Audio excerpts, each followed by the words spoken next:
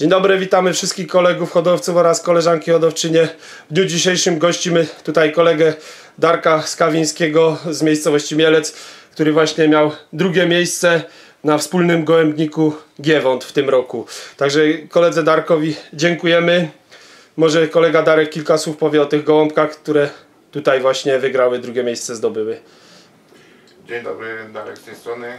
Chciałem, e, ten drugi gąbek, co zdobył drugie miejsce, chciałem, był od e, Zbigniewa Oleksiaka, któremu chciałem serdecznie podziękować za bardzo dobre gołębie rozpłodowe, które u niego nabyłem.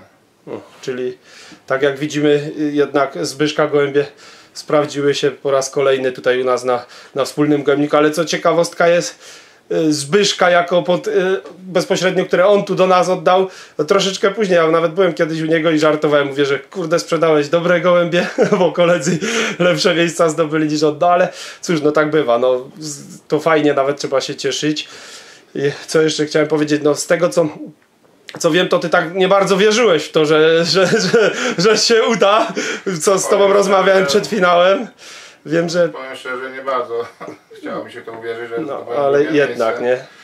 No mówię, no jeszcze raz chciałem podziękować, bo doradził mi jak prowadzić hodowlę, jak, no dużo rzeczy mi doradził pan Zbyszek, także jeszcze raz serdecznie dziękuję. Ja też dołączam się do podziękowań. Dziękujemy, pozdrawiamy przy okazji Zbyszka i życzymy właśnie wszystkim hodowcom takich sukcesów jak widać. Pucharek, kapelusz, Darek widzę zadowolony, rodzina cała, jadą do Zakopanego, kasa już widzę na stole, także życzymy wszystkim wszystkiego najlepszego, powodzenia, no i zapraszamy do rywalizacji na przyszły rok do nas. Myślę, że Darek pewnie też jakieś asy tu do nas wstawi. Na pewno spróbuję. Także powodzenia, dobry lot.